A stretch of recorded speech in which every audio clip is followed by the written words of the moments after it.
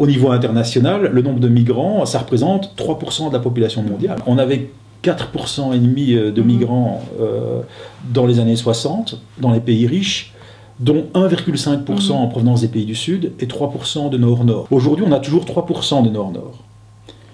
Mais le Sud-Nord représente 8,5%. Les inégalités en fait, de revenus entre les pays jouent un rôle important.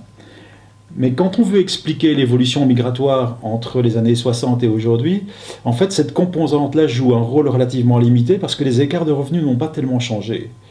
On avait déjà des grosses inégalités dans les mm. années 60, les inégalités sont toujours très importantes aujourd'hui. Là où on peut expliquer les changements, c'est avec les conflits euh, et avec les changements en termes démographiques. Donc c'est pas tellement que les pays en développement euh, ont envoyé une proportion plus grande de leur population vers les pays riches.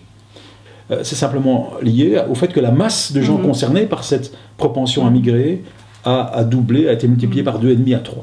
On a peut-être 2 à 2% et demi de la population des pays en développement qui est, qui est à l'étranger et qui est dans les pays riches. Tout le monde pense que euh, on a un flux de migrants, que tout le monde veut partir, tout le monde veut quitter son pays. Quitter son pays, c'est une décision très difficile.